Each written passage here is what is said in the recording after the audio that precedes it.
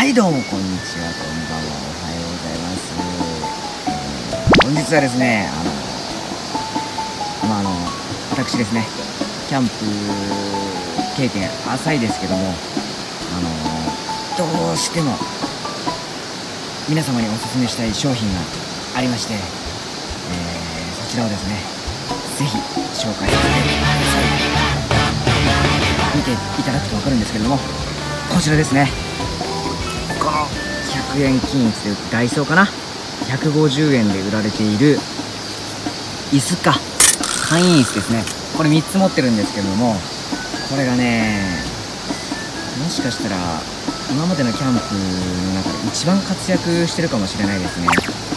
もうこんな風に水を置いたりだとかえー、こういったクーラーボックス直接地面に置きたくないもの。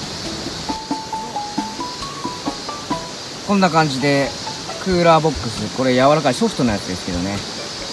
あの直接地面に置きたくないものだとか。の下に敷いてあげることで。待って虫入って口の中。うっ。置いたりだとか。いろいろ用途があります。1個150円ですよ。150円。これだからお祭りの時とか花火大会の時とかも持ってってバッグに入れてね。小さいんで畳めばこんなもんなんで。150円ですよ。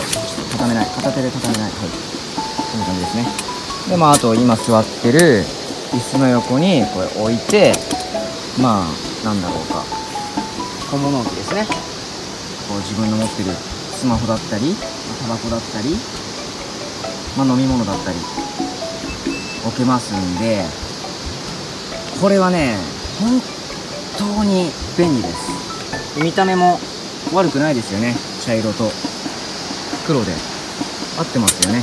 いろいろと。合わせやすいですよね。で何よりですね。何よりおすすめしたい使い方がよいしょ。ちょっと今からやりますね。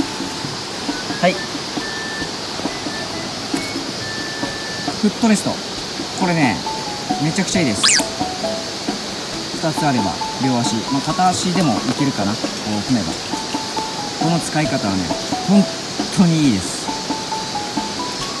まあ、その他なんだろう。もうとにかくねいろんなことに使えるんですよね。バーベキュー台の下にも置いて使ったことはありますし自分の座ってる椅子を持ってくのがめんどくさいというかちょっとした小さな移動ですね。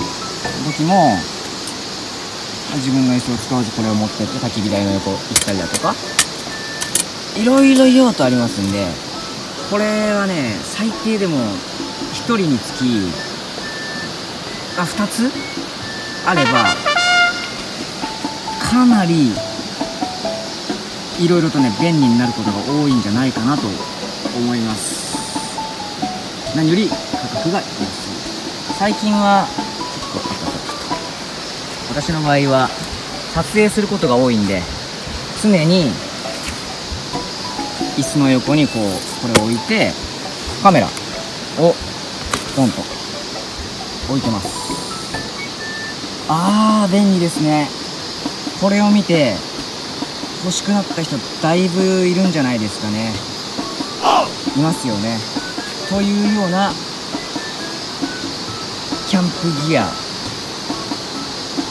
紹介でした。あのー、本当にね初心者キャンパーなんで偉そうなこと言うんじゃねえと。そういったね批判、えーお待ちしております。ではまたこんな商品がありましたら、えーご紹介させていただきます。ご視聴ありがとうございました。バイバイ。